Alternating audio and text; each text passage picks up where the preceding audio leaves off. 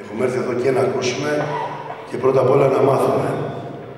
Όμως, ε, επειδή άνθρωποι σαν τον κύριο Μπραχαλιά είναι πλέον λιωσότες και 40 χρόνια εδώ, στα Λιώσια, στη Φυλή δηλαδή,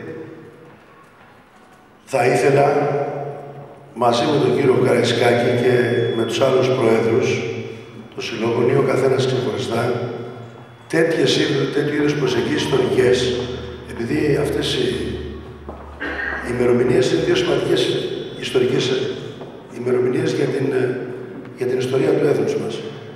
Θα θέλαμε έτσι με την εμπειρία σου, Γιώργο, να το δεις και για την περιοχή.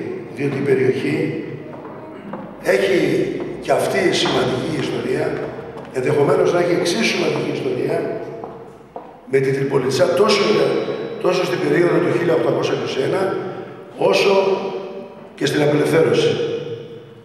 Και ως, ως αντίσταση, αλλά και ως εμφύλιος πόλεμος.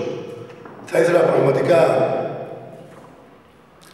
καταρχήν ξέρω ότι θα είναι πολύ ενδιαφέροντα αυτά που θα πεις, θα ήθελα πραγματικά αυτό που προτείνω, είτε τώρα είτε αργότερα, να το δείτε πάρα πολύ σοβαρά. Έχεις κάνει και μια σοβαρή πρόταση στις εκδηλώσεις επαιτίου, δηλαδή να εμφανίζεστε όλοι οι σύλλογοι μαζί, διότι το εθνικοτοπικό πρέπει να είναι ένα. Ναι, μεν μπορεί να υπάρχουν εθνικοτοπικοί σύλλογοι, αλλά όταν, αλλά όταν υπάρχει μια επέτειος πρέπει να συστοιχιζόμαστε πίσω από το έθνος, πίσω από την πατρίδα. Με αυτή την έννοια θα πρέπει να μάθουμε κι εμείς εδώ στην περιοχή, διότι για μας ήταν απαγορευμένο. Εγώ δεν πρόλαβα να καθίσω τόσα πολλά χρόνια, αρκετά χρόνια εδώ στα Ανολιώσια. Προσπάθησα να το κάνω στη φιλή αυτό.